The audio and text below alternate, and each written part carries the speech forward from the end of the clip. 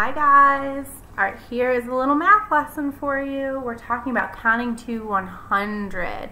And you guys are so good at this. I know you are. So we're just going to review a little bit today and this week. Um, so I made this. So why don't we go ahead and we'll start together by counting to 20 together. And then we'll go from there. Ready? One, two, three, four, five, six, seven, eight, nine, ten. Ooh, I'm out of fingers. 11, 12, 13, 14, 15, 16, 17, 18, 19, 20. Great job.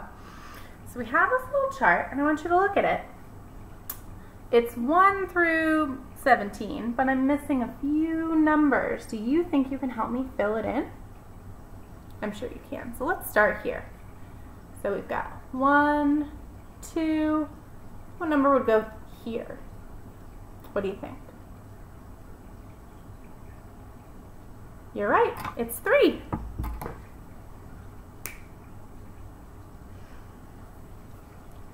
And we've got 4, five, six.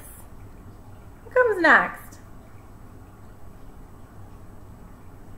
Seven, very good. Ooh, and then after seven comes eight. Great job. Nine, ten, eleven. Would go here?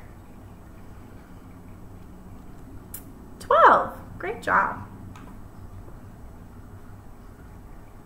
Then we've got 13. And what would go here? You're right, 14. 1, 4, 14. Sometimes those teen numbers can be a little tricky. 14, 15, 16. Last one. 17. Great job. You guys did such a good job of filling in those numbers. All right, we're gonna do it one more time. We're gonna go a little higher. It's gonna be a little trickier, but I'm sure you can do it. So, let's see, 20.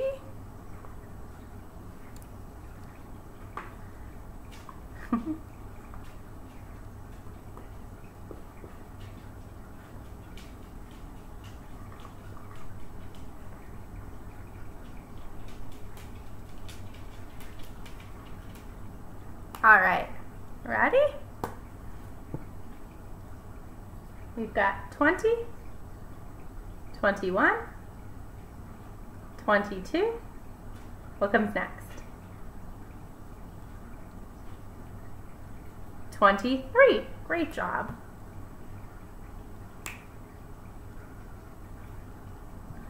Then we've got 24. Then what comes next? 25. Good job. 2, 5. 25. Then we've got 26. Good job.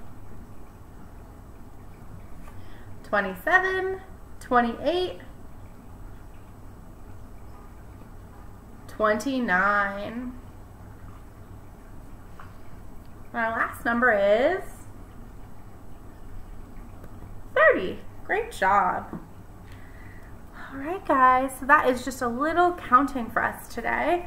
And if you want, you can go around your house and you can count things, or you can just count out loud to 100, um, or you could maybe do some jumping jacks, like you do in PE sometimes, whatever you can think of. All right, and I will see you guys later. Bye.